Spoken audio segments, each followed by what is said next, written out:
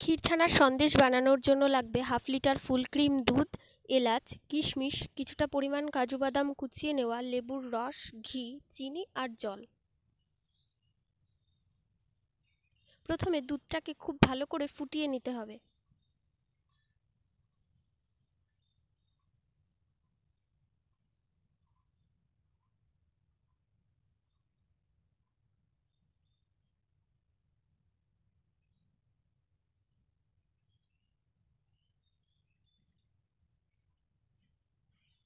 তো দুধটা ফুটে গেছে, এবার দুধটাকে আমরা একটা পাত্রে নামিয়ে নেব, আর একটু ঠান্ডা করে নেব।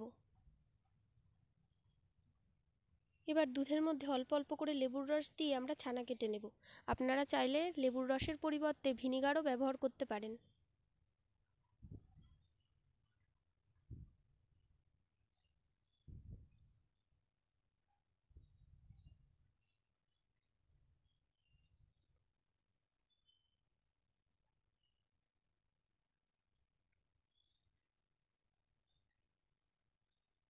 তো আমরা ছানাটাকে একটা পাত্রে তুলে নিয়েছি, জল ঝরানোর প্রয়োজন নেই। আমরা কিছুটা পরিমাণ দুধ রেখে দিয়েছিলাম, সবার প্রথমে সেই দুধটাকে খুব ভালো করে ঘন করে নেব।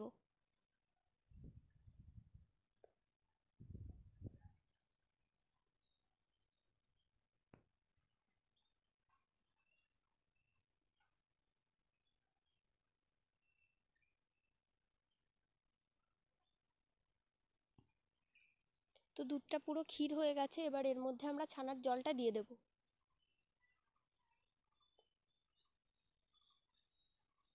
আর কড়াইতে যে ক্ষীরটা লেগে আছে সেটাও ভালো করে তুলে নেব।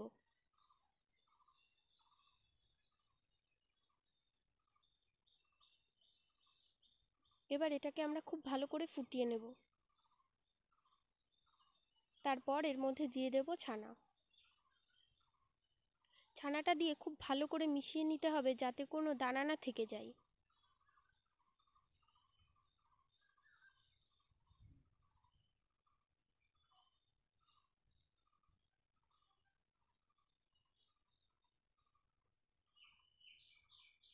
তারপরে আমরা এর মধ্যে দিয়ে দেব চিনি।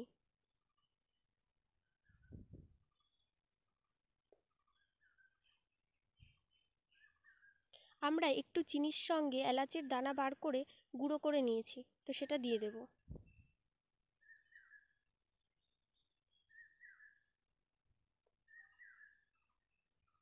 এবার আমরা এর মধ্যে দিয়ে দেব এক চামচ ময়দা। ময়দাটা উপকরণ দেখানোর সময় দেখানো হয়নি।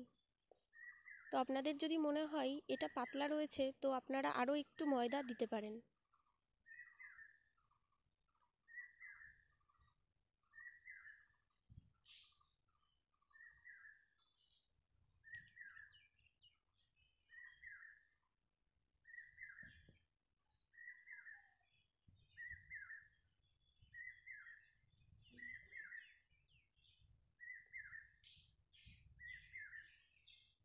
এবার আমরা এর মধ্যে কাজু বাদামটা দিয়ে দেব।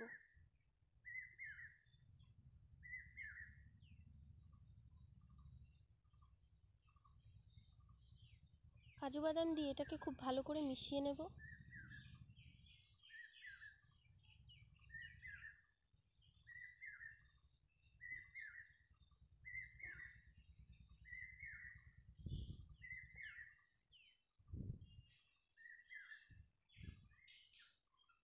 তো এটা প্রায় হয়ে গেছে।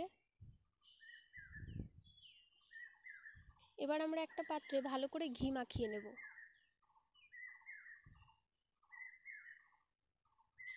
তারপর আমরা মিষ্টিটা তুলে নেব।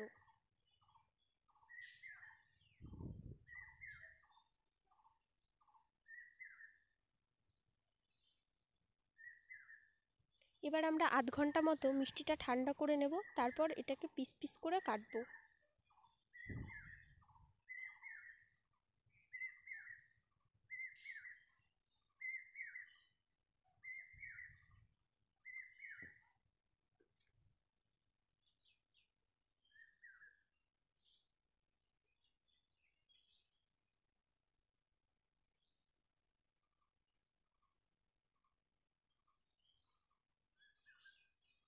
এবার আমরা ওপর দিয়ে কিশমিশ কাজু বাদাম কাজু বাদাম দিয়ে ইচ্ছে মতো সাজিয়ে নেব।